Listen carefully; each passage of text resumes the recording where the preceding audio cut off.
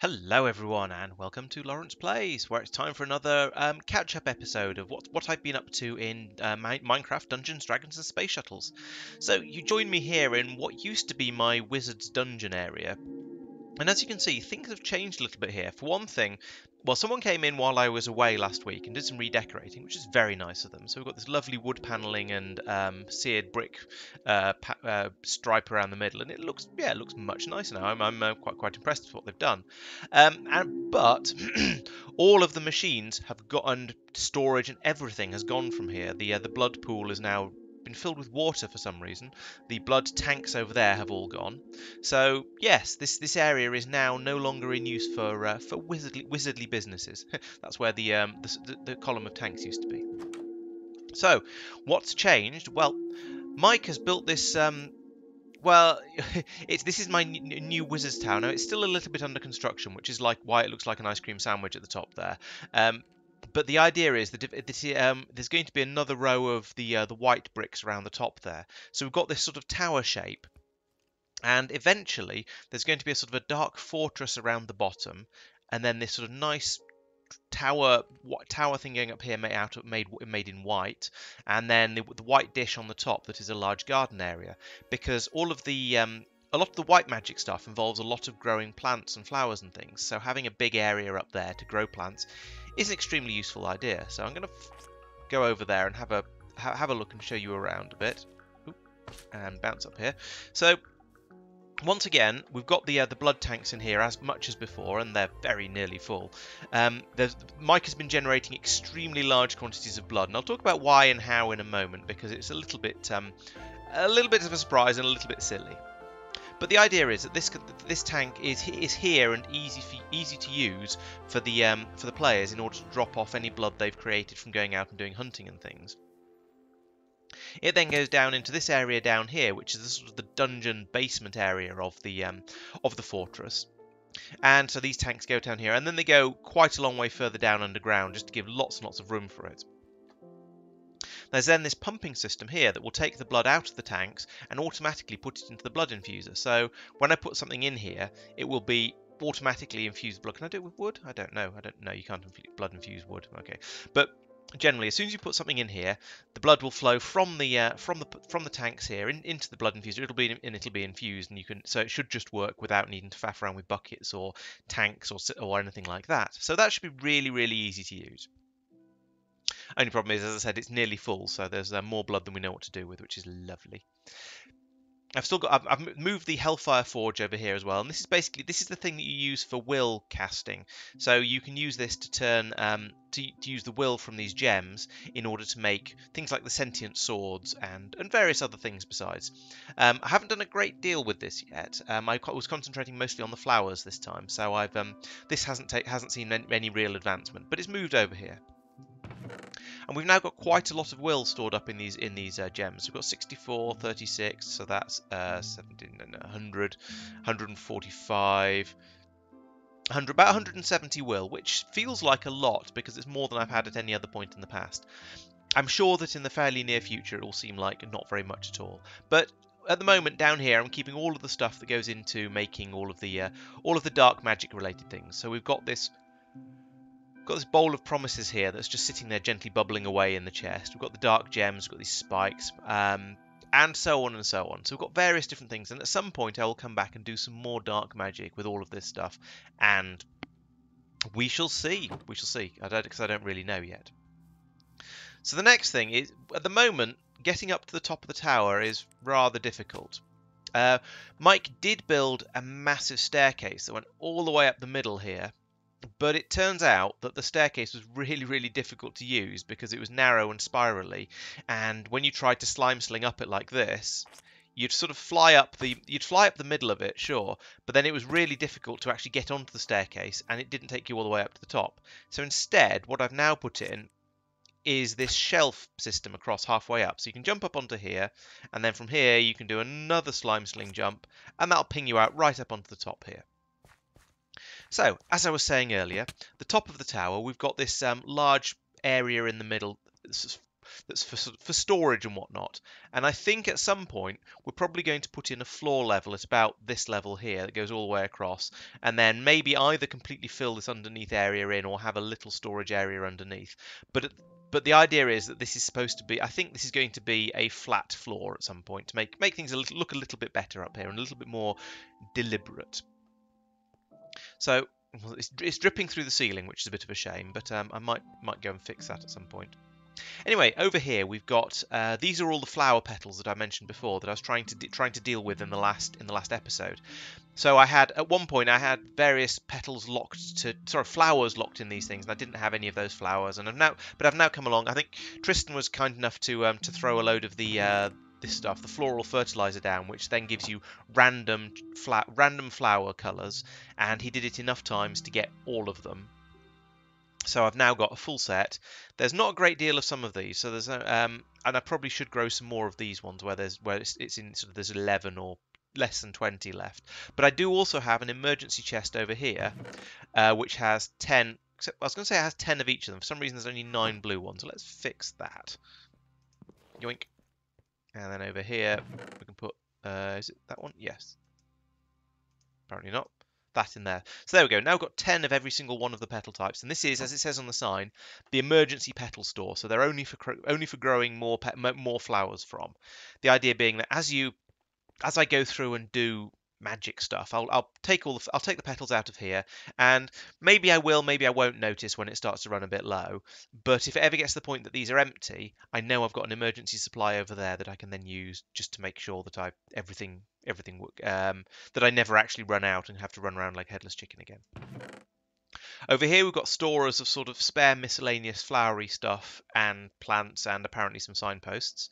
Uh, so these are all just being kept in a sort of, we've got various so the flower the flower petals can be ground down into um, into powder, and those are useful for dyes for all kinds of different recipes. The seeds are very useful for um, making making e- exotic types of flowers for the for the um, it's not mystical agriculture, but for the white magic stuff, which I'll talk about in a moment. Um, and then there's various other flowers and weird things that I've picked up. The uh, the, the, shimmering mushrooms, the black lotus, frost lilies. I've kept all of these up here because they're clearly plant-related things, but they're not the right sort of plants, I suppose, in that they're um they're not that they're not the the um this sort. What what are these called? They're not mystic. They're not Botania flowers. They are other types of flowers. I'm just keeping them in here as somewhere to somewhere to put them for now.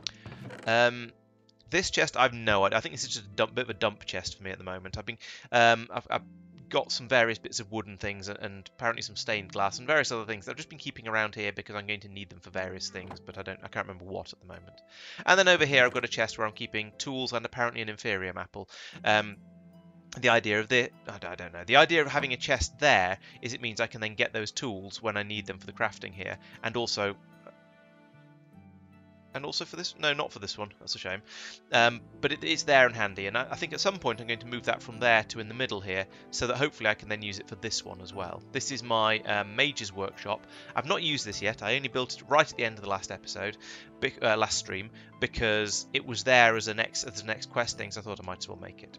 So that's why that's there. Um, it, the idea the idea is it, it, it, feels like I've got this all sticking out a bit too far now. I would have put it here, but unfortunately that's the is the the exterior wall of the tower. So if I take that block out, everything falls miles away down below. So that's not ideal.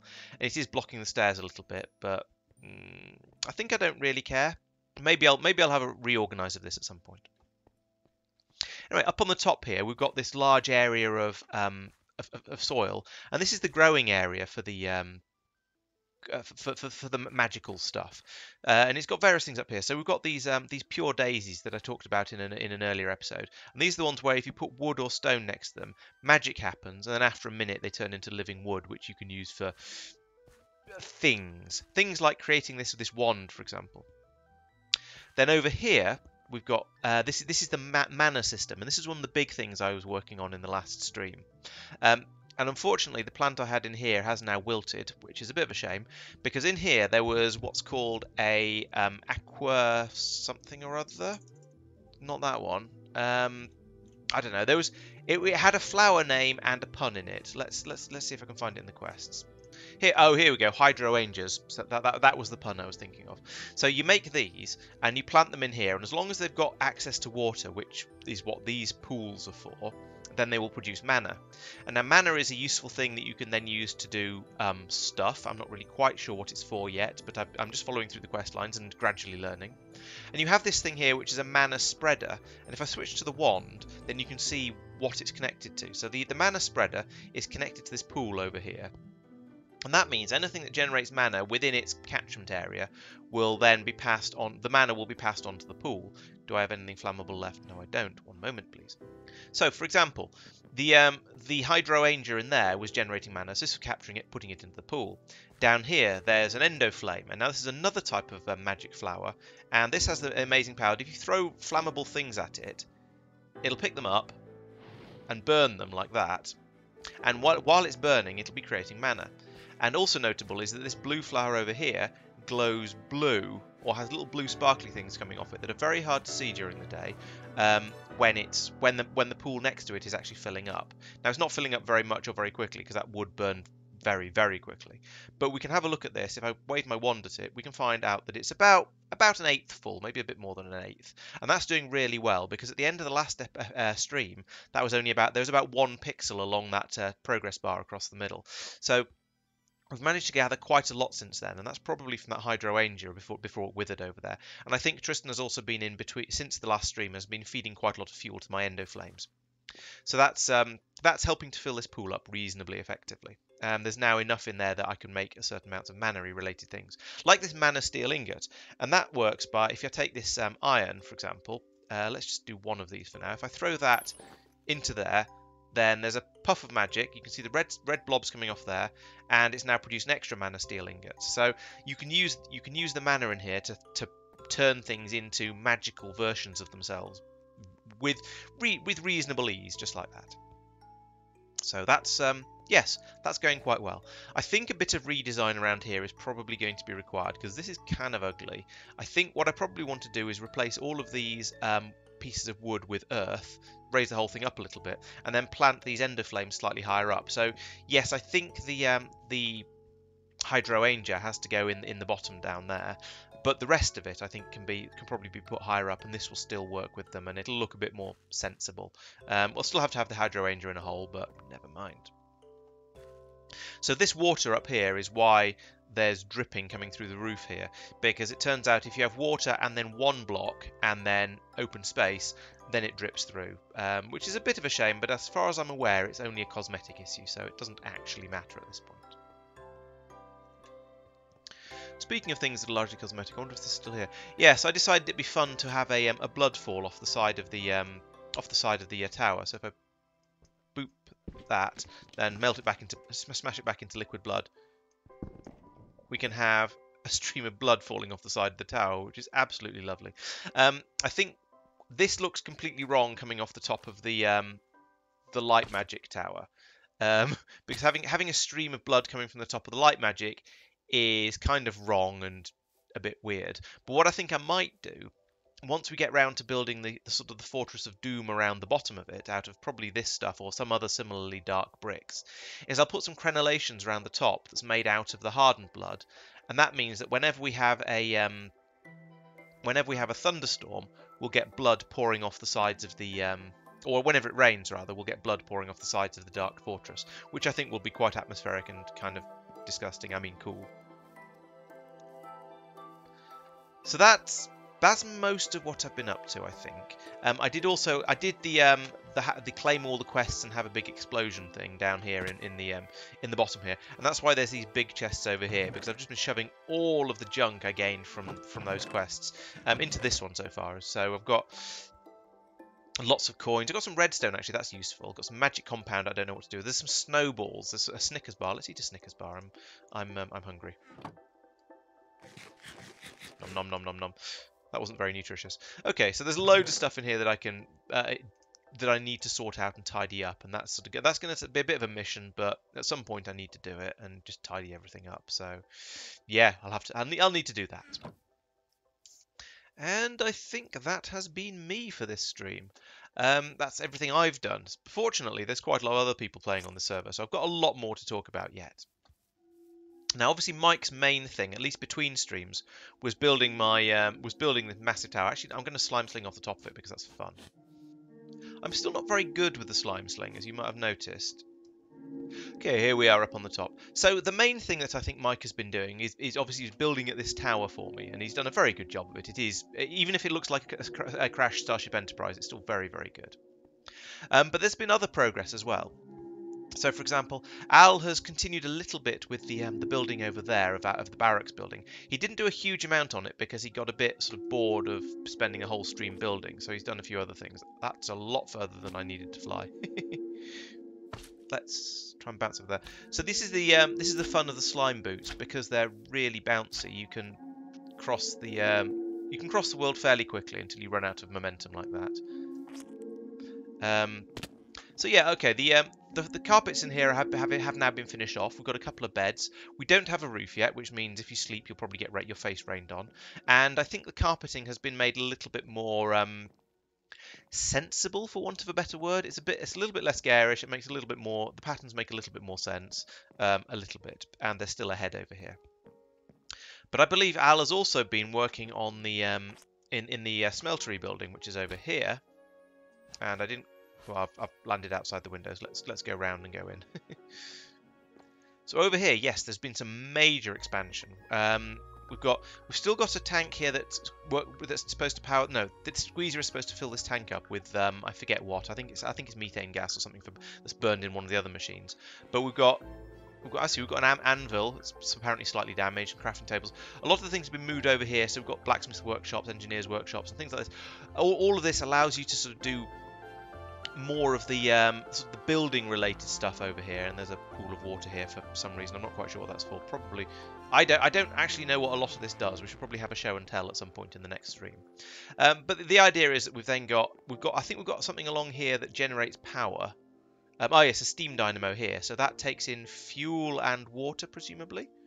Um, yes, we've got it's got you put fuel in it. Water comes in probably from here, or maybe oh no, no I remember Al was talking about this. You can also you can also pick up the um, tank from here like this, fill it up, and then dump it into dump it into here. I don't know. Oh, okay. So the um, the coal the coal is in the um, is in in the item hopper, so it's automatically fed into the generator. The generator. Um, oh, I put that in the wrong place. Ah! I have made a mess. Sorry, everyone. Is that fixed? Have I fixed the mess? Mostly, but I've knocked some knocked some torches around all over the place. Is that is that fixed? I think it is. Yes. We just need to wait for this to flow back and uh, and fix itself. So once this has subsided, I shall um I shall correct my um my error there and put the uh, put the torch back, like so. There we go. Um, is that everywhere? Put one on the wall because then that's a bit safer from people doing stupid things like I just did.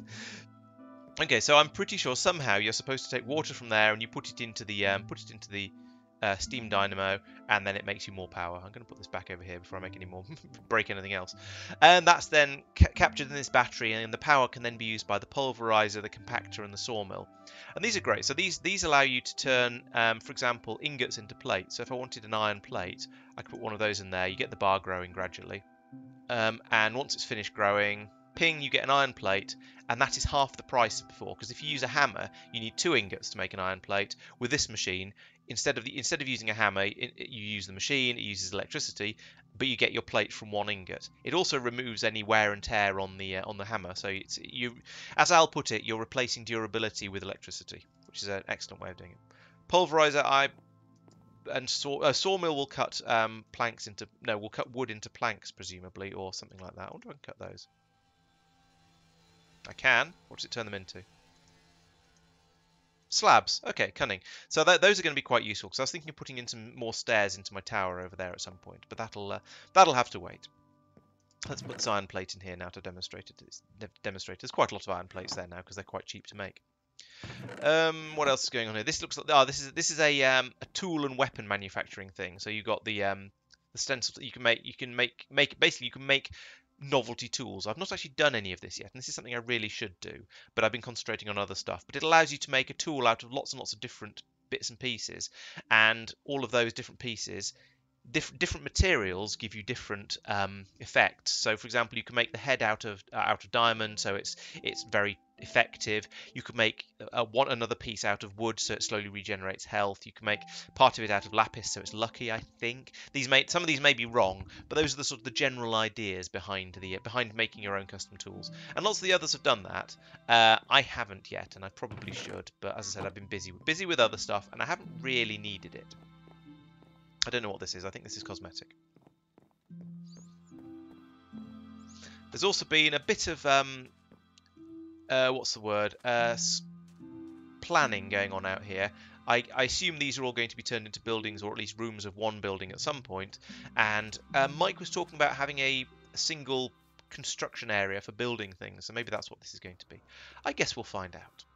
Are these paper trees? No, these are eucalyptus. Oh, those are the paper trees over there. So if I want paper, I can go and punch those trees. Nice. What else has been happening? This thing over here looks new. I don't remember this.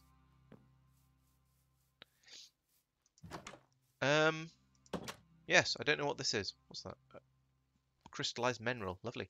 Um, I don't know what this building's for. It's got a rooftop terrace and yeah, I don't know. We'll probably probably find out in an, in in, in a future episode. Pete has been starting to play with mystical agriculture, which is not Botania, it's another um, plant related thing. So, what that allows you to do is it, it, it, means you can grow these various different types of weird novelty seeds.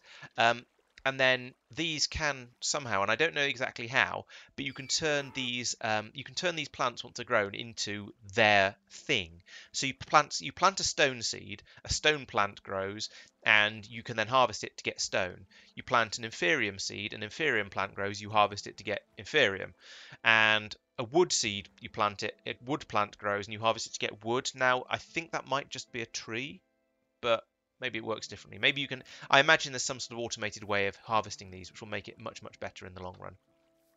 And so uh, Peter's been collecting the various different types of um, essences over here to make those uh, make those plants, and very, all all kinds of seeds, and apparently worms and um, as well, and various other stuff to, to, to be getting on with that. At least part of the reason he started doing this was because he was struggling with the uh, cooking uh, quest lines. Uh, have I overshot? No, this is, actually where I wanted to go. Where's the kitchen? Where's the door? I think the door's on the other side of the building. Probably to stop people just using it as a way through to get from A to B. Can I run through these? Yes. Does it break them? No. Excellent. Those look spiky. Those are spiky. Ow.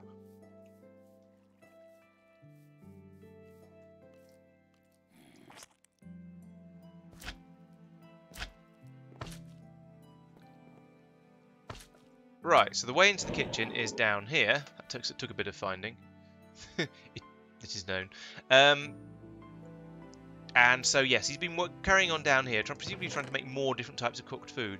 He was talking about trying to make various types of chicken dish at one point, um, but having a problem with insufficient chickens and not wanting to go out and kill the uh, the chickens in the chicken farm out here, um, which I'm pretty sure is the whole point of a chicken farm. But um, maybe, maybe we're actually just keeping them for the eggs. We, I guess we'll see.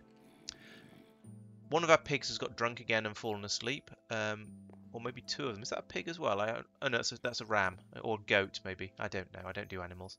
Um, and all the cows have gone to sleep. I suppose it is night time, so it's probably fair enough that all the animals are asleep. Tristan has, by the sounds of it, been largely resource gathering recently. Um, I hesitate to say any sort of just in that because I think he's also I think he was also involved in all the stuff that was going on over there in the smeltery that I um, may have falsely attributed to Mike.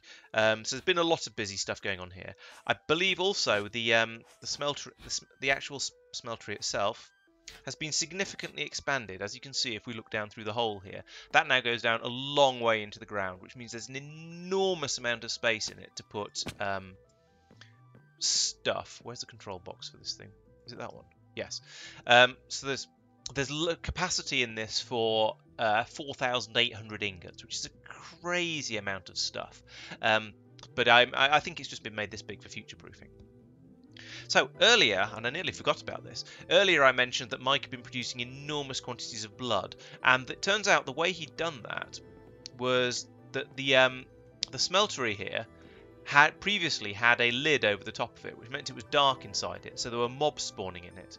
And it turned out there was one mob that spawned with some sort of healing power capability thing. So it was just being very gradually tortured, ne- but never to death, and just bled and bled and bled. So enormous quantities of blood has been built up inside the smeltery, as you can see if I if I, if I look on here. Uh, we've got uh, 166 buckets worth of blood, and that's a ridiculous amount. Um, I don't know what we're going to do with this. I, I, I, imagine it's probably going to stay there until I, as the uh, the Dark Wizard, find some sort of use for large quantities of blood, and then I guess I'll come over and try and start harvesting it and, and carrying it over there. Um, the only problem is it's some sort of dirty blood, uh, which makes maybe makes sense. I have no idea. Um, so it needs to be purified first, and I believe that means it needs to be run through the blood infuser, which is way over there in the tower. So you take it over there, you run it through the infuser, and that cleans it up, and then all is lovely and bloody. It can be used and improved. So as I was saying, Tristan has been working hard on uh, resource generation. Where am I? I'm here. Okay, so if I go over this way, boom. There's no doubt that means there's lots and lots of stuff in all of the chests over here. He said something about having made an extra thousand charcoal, which is uh, this one, and that's going to be very useful for feeding the endo, endo flames over in the tower. So if I claim um, a stack of this, is it like that? That's how you claim a stack, yes. And then put it in the. I think this is a compa- I think this is the compacting. No, don't put that in there. I think this is the compacting drawer. If I put all the charcoal in it, there we go. Yes, we can take the blocks of charcoal out the top like that. Oh, that one piece out as well. And that can be then put over in the endo flame, as I shall demonstrate in a moment, and then hopefully generate decent amounts of, of mana. Um, he might have been doing some sorting over here in all of these um, all, of these uh, chests. I don't I don't really know, but he does, does say he's also put in some extra of these um, requester chests. I mean, I say requester chests like they're Factorio, and there's going to be some bots bringing stuff over. But actually, it's more it's more of a system that just says these are things I would like for something I'm trying to make. And over here we can um, have on on this list here we can say what things we are currently short of. So at the moment we are apparently we reckon we've got enough blood. That seems fair. We've got enough will. Also seems fair. Um, we are, however, always always short of food because people keep eating it, and power and grid power is always is stuff that is being gradually worked towards. So it's a bit of a to-do list. And then over here we've got the list of the things that are going to be needed for future future projects. Now see, let's go back over to the tower. Oh yes, first time. So, as I was saying earlier, we've got these we've got these two endo flames. So if I come over to here, we can um, chuck down a couple of these. Right actually, I probably want to chuck these out together, come think of it. So chuck one at each flower. There we go, they've both picked them up. They're now burning. So that should mean we're now generating mana at a decent rate. I mean, we probably won't even be, won't won't see this go up at all because it's it's a very very slow process to generate the mana. But we can you can see we've got the uh, the blue twinklies coming off this plant here, so that is is now working. It is generating the mana. All is happy up here, and that is why I think we've got so much of the um, of the charcoal blocks available. Because when you when you fuel an endo endo flame it will burn it can only pick up one thing at a time. So if i chuck down lots of charcoal blocks on top of it they would despawn before it used them all probably. Um, but if I chuck one if I chuck one charcoal block on it, it'll burn it for quite a long time. If I chuck one piece of charcoal on it, it'll burn it quickly and then and not produce very much fuel. So the dense the more fuel you can fit in a single item, the more effective it is to go over and just chuck the fl- chuck the stuff at them and, and, and, then leave them burning, as you can see. And um, yeah, they are happily being um, being picked up. As you can, and the other thing you can you can do with this wand is you can check that there's a you see on the on the right hand side of the uh, of the um, line of the uh, progress bar there, we've got that. Um, we've got the symbol for the mana spreader and with a tick next to it, and that tells us that this one is is getting its mana picked up, which is not very nice of it to tell me that. So I think yes, I'm going to need, at some point I'm going to need to come through here um, and basically fix this up so there's a better way of growing all these plants um, and, and, and just neaten the whole whole area up a little bit. So that shouldn't be too hard though. Now I really do think that's everything I have to talk about. So thank you for watching. Uh, do come along on Monday and watch the stream while I'll be um, expanding this out a bit more and sorting sorting some of the things out I've been talking about and hopefully trying to improve things. What is what is that? Is that a bat of some sort? No, it's a butterfly. Oh, how lovely. Um, apparently I can pick it up with a shovel. No, I think that might have been this. I don't know. I don't know. Maybe it's just a, a, a creature. Anyway, yes, come along on Monday to watch the streams. Come along on Wednesdays to watch the uh, the Factorio space exploration streams. They're um, also also going out. They're also uh, a lot of fun. And then there's these videos. The video you're watching right now, in fact, and the Factorio equivalent of it will come out on Saturdays and Sundays. And at the moment, I'm releasing GTA videos on Thursdays because that seems like a good way of splitting the week up a bit. So yes, don't forget to, come along and watch all of that. It's um, there's been some good stuff recently, and, um, and we're having a lot of fun with it.